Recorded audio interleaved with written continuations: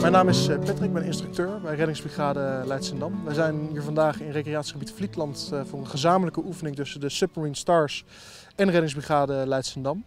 Nou, dit is voor ons de eerste keer in, uh, in al die jaren dat wij samen eigenlijk, uh, eigenlijk oefenen. En de, ja, de belangrijkste onderdeel dat we dus eigenlijk oefenen zijn de duikongevallen in samenwerking met de Submarine Stars. Uh, voor onze leden zijn duikongevallen helemaal nieuw. Het zit niet standaard bij ons in de opleiding. Dus voor heel veel van onze leden is het de eerste keer dat ze in aanraking komen met überhaupt duikers. Um, en dat brengt eigenlijk wel een, uh, een heel ander uh, soort problematiek met zich mee. Um, er zijn heel veel problemen die zich bij duikers voordoen die niet zomaar bij elke drenkeling nou, zichtbaar zijn.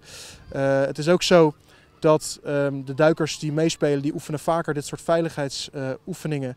En die uh, kunnen dit ook realistisch spelen. Voor heel veel van onze leden is, is realistisch oefenen iets wat niet heel vaak gebeurt. Um, en om dan nu geconfronteerd te worden met een duiker die een bepaald uh, ziektebeeld vertoont of een duiker met een bepaald probleem. Uh, dus een gehele nieuwe opdracht. wat ook weer hele nieuwe uitdagingen met zich meebrengt. omdat je een duiker met uitrusting een boot in moet krijgen. je moet er rekening mee houden dat sommige problemen bij duikers pas later zichtbaar worden. Dus dat je je om beide mensen blijft bekommeren. Um, en dat zorgt er dus eigenlijk voor dat het voor al onze leden op welk niveau dan ook heel leerzaam is om zo'n dag uh, mee te maken. We oefenen met twee typen boten um, en dat brengt ook nog zijn eigen uitdagingen met zich mee. Want sommige boten hebben een hogere rand, waardoor het moeilijker is om duikers erin te krijgen. Uh, we hebben één boot die heeft een uitklapbaar trappetje, um, wat met duikuitrusting toch ook nog wel lastig bleek om mensen uh, het water uit te helpen. Dus ik denk dat het voor beide verenigingen een onwijs leerzame dag is geweest um, en dat dit zeker voor herhaling vatbaar is de komende jaren.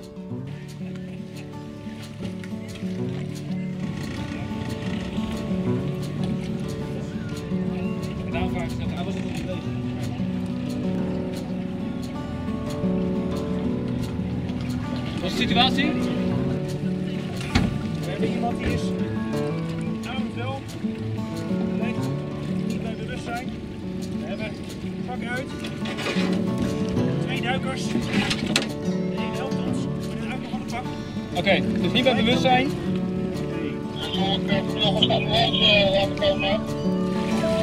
Ja, tevens is de... Hou vast hè.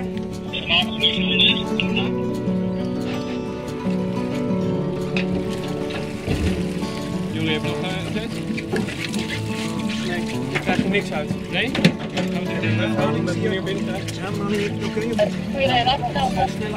Snelle ademhaling. Ja, op snelle ademhaling. Ga ik doorgeven. Hoe is het met u? Weet je het niet? Ja, moet u lachen? Ja, hij moet heel erg lachen. Probeer stil te liggen. Wat is nou hier nog nooit dat is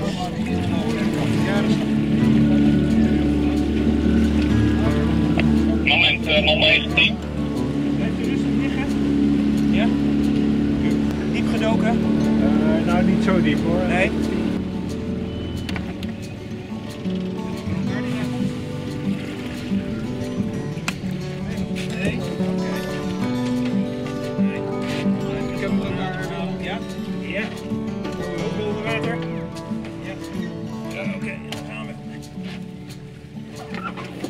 Ik heb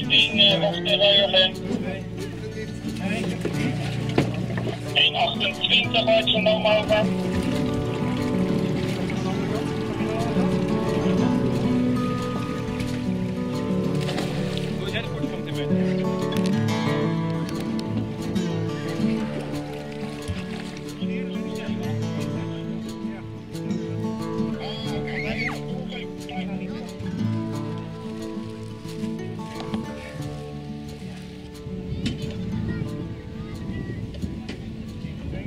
Ben eh, Nancy van Submarine Stars, duikvereniging uit Leidschendam.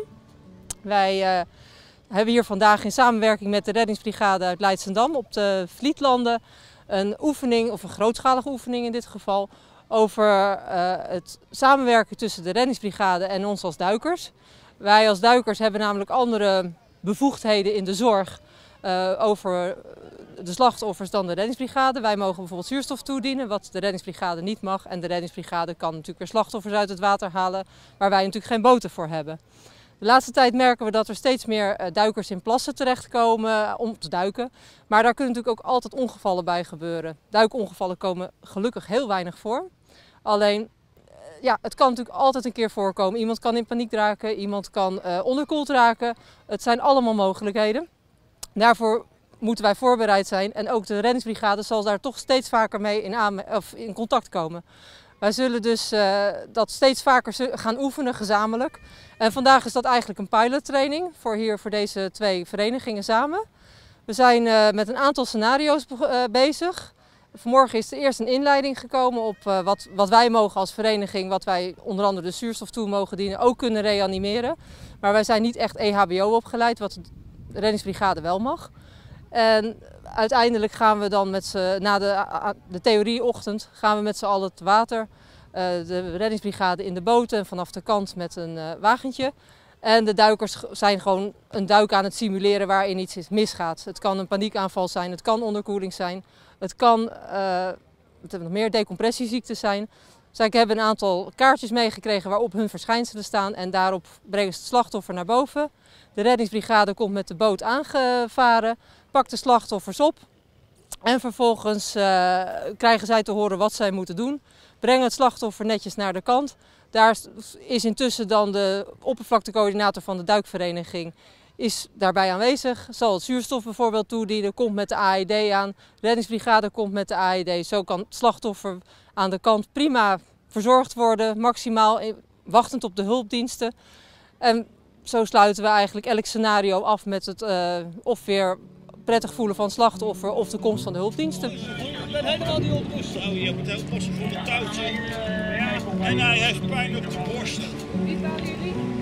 Wij waren naar 10 meter gegaan. We zijn daar ongeveer een half uurtje geweest. En er zit lucht in, ja. Hij zit helemaal aan. Als jij nog meer midden pakt. Zo. 1, 2, 3.